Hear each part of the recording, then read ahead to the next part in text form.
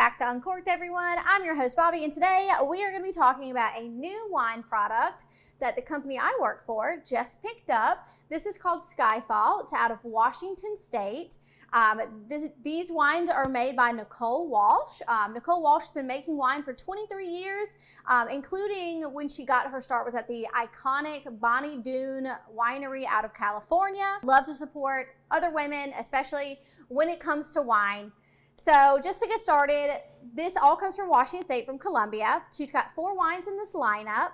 The first one is going to be this beautiful and stunning Chardonnay, and this is aged in 85% um, French oak that's two years old the newer the oak is, so fresh new oak, you're going to get more of those vanilla, cinnamon, clove. You're still going to get a little bit, but because it's two years old, so it's been used for two seasons or two vintages, it's not going to give you quite as much. The rest of the oak used is going to be neutral. So it's very nice. It's delicate. It's not overly done. Um, it's got great acidity. It's a beautiful product. It is created in a rain shadow. So what that means is these wines are made um, around the Cascade Mountains and that mountain creates a block where it gives basically gives these wines a better growing conditions because Washington State as a whole is actually a very hot, dry climate and they don't usually get a ton of rainfall. So these actually only get about six to eight inches of rain.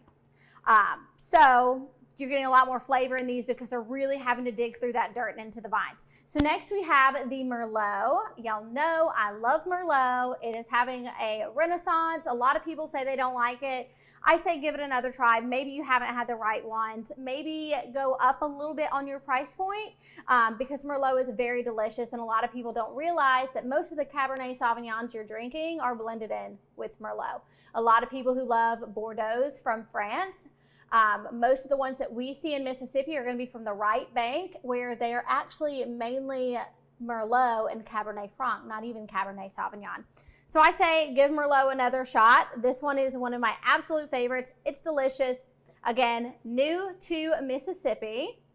So then we have this amazing red um, red blend. Red blends are a hot category right now. They continue to grow every single year.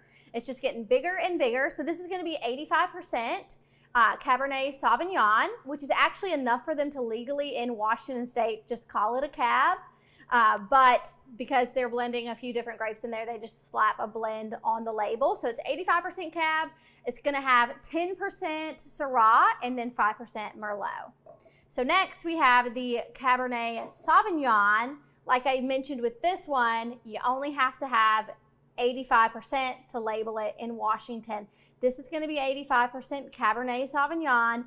The remainder of the blend is going to be Syrah, and that's going to give that a little bit more body and some flavors that they like in the Syrah wine. I've had a lot of people reach out to me this summer asking why the wines they typically drink aren't tasting the same. It only takes 10 to 15 minutes to cook a bottle of wine in your car. So that means if you were to stop at the liquor store and then run into Kroger, by the time you leave Kroger, your wine is cooked. It's not going to taste the way it's supposed to. It's going to have very muted, um, cooked, stewed flavors. It's going to taste very off. So maybe that's what's happening to your wine, especially if it's one you've drank quite often. Just remember that these wines are not made to withstand temperatures over 80 to 80 degrees.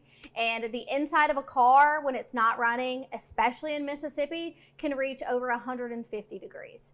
So get your wine after Kroger, not before, and take it immediately home.